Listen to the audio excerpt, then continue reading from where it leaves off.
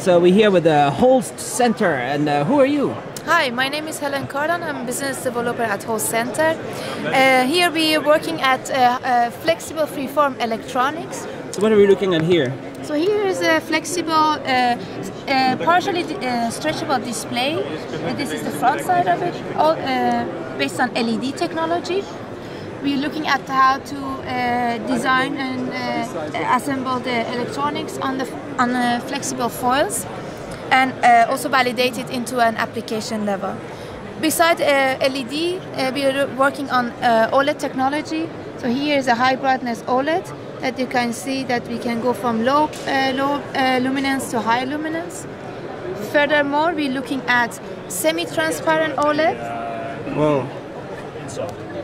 So this is for, uh, what is this for? So this gives opportunity that you can integrate light on uh, transparent substrates. Uh, it can be a glass uh, in a house or in a car.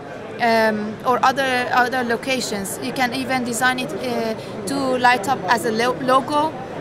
For example, it's very thin and flexible and uh, homogeneous. So the it's very uh, the other uh, side of the LED. It's really cool. Yes. What is the Holst Center? What does it mean? The Holst Center, the name comes from Professor Holst, that is a, a, a old uh, R&D uh, manager at Philips uh, in beginning of uh, 20th century. Uh, but Holst is a brand for uh, innovation uh, between two mother companies, TNO, that we are presenting here, and IMEC from the Netherlands. Uh, IMEC is very famous uh, research yes. institute, right? See, indeed, and TNO as well. So IMEC is focusing on uh, uh, developing algorithms uh, uh, and electronics, and TNO is a multidisciplinary. Research Institute. We have our colleagues on 3D printing, but at uh, our uh, team we are focusing on freeform electronics. So what Let's look, look at more. What is Yes. this one? Um, before going to this, I would Yeah. like to mention that we are looking at fr- uh, uh, freeform electronics, so electronics that can be printed on uh, stretchable substrate. So we're looking at characterization of ink, uh, substrate, and integrating uh, a silicon-based component on, on the stretchable. Okay. Also, skin-like, uh, uh, very thin foils, for example, for medical applications. Furthermore, we're looking at integrating those on uh, hard sur- surfaces. So this is an example of an, a very interesting topic, is structural electronics or in-mold electronics. Here you can uh, integrate lights and uh, sensors, for example, touch sensors on a, um, a hard substrate. So all the electronics are fully integrated. All right. Um, here we can see a slider. How do you integrate it like that? These are uh, integrated based on thermoforming technologies. So you print and then uh, form the electronics into a, a shape that you want. Is this partnership with uh, DuPont or no? It's just So DuPont is one of our partners in that application. Yes. So uh, IMEC is is like thousands of researchers, right? It's very big and is uh, Euro- European or. Yes. worldwide. So it's. Um, uh, I would like to mention again, IMEC is part of Holst Center. So um, TNO and IMEC has uh, established Holst Center. So at the TNO, we also have um, uh, around 3,000 researchers working on different topics.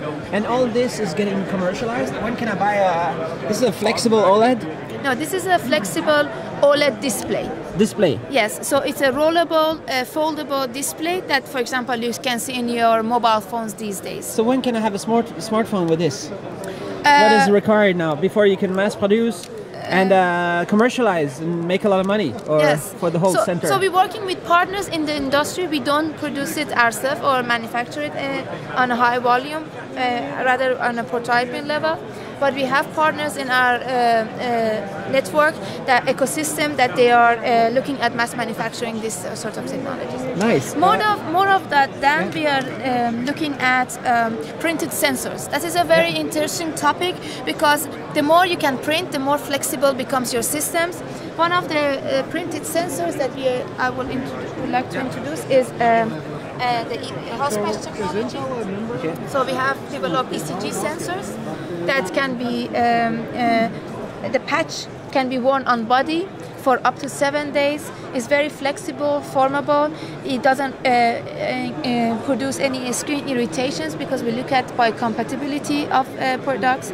It uh, acquires um, medical grade data for about breathing rate, heart rate, and movement, and uh, for example, could be used for monitor, uh, patient monitoring.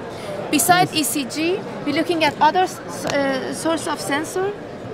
What did you have connected in here? Yes. So these are our printed pressure sensors and temperature sensors.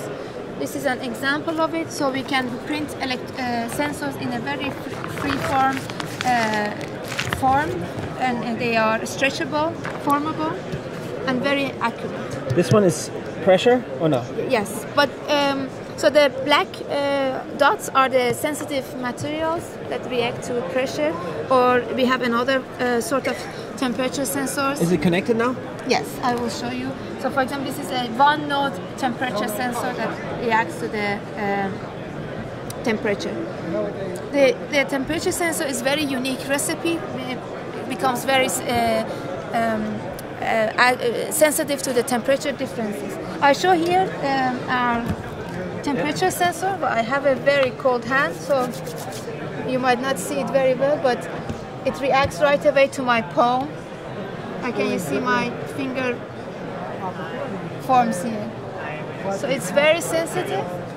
The other technology we have is a pressure sensor. So if I put my hands, you can right away see. So we can use these uh, pressure sensors, for example, in a, uh, on, on top of mattresses for patient sleep monitoring or other applications, shoe inlay, and, and for movement, uh, posture management uh, type of applications. And we need to see all your sensors in close, right? Yes. So what is happening with this shirt here? So this is, this is the third generation of our ECG um, uh, monitoring shirts. So the electrodes are printed on top of the uh, substrate and laminated on textile. So you cannot feel it. It's very stretchable, soft, and washable. And you don't need to have a, a very tight skin contact to measure uh, all the uh, biometrics. Yes. That's awesome, right? Why, why don't we? Uh, why isn't there like uh, mass production of this yet? How long it takes? Uh, depends on if a company would like to invest uh, in further developing this uh, mass manufacturable uh, product. And then you just uh, there's a procedure to take this research kind of stuff Yes. into mass production. There's a procedure. There's a Well, uh, the technology is mature enough for being produced in a high volume. We have in our ecosystem uh, companies that can manufacture these uh, uh, units. Um, so it really it comes to the end user who have the uh, creative idea to bring it to, to the market.